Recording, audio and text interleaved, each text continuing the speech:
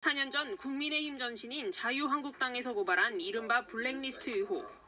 문재인 정부 출범 뒤 일부 부처들이 전 정권에서 임명된 공공기관장들에게 사퇴를 종용했다는 내용이었습니다.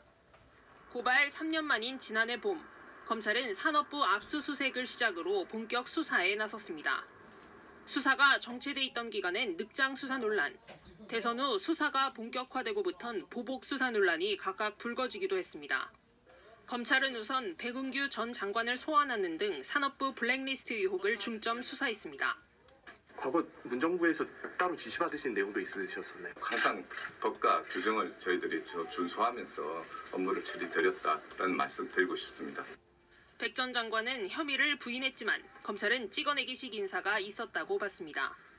호텔과 식당 등으로 기관장을 한 명씩 불러내 사직 요구를 했단 겁니다. 이 과정에서 백 전 장관과 조현옥 당시 청와대 인사수석이 함께 움직였고 그 밖에도 과기부, 통일부에서도 비슷한 일이 있었다고 검찰은 결론 내렸습니다. 따라서 검찰은 백운규, 유영민, 조명균 새 부처 전직 장관과 조현옥, 김봉준 두 청와대 임사참모 출신을 직권 남용 혐의로 기소했습니다. 검찰은 3개 부처 산하 19개 공공기관장들이 정당한 사유 없이 사표를 강요받았다고 보고 있습니다.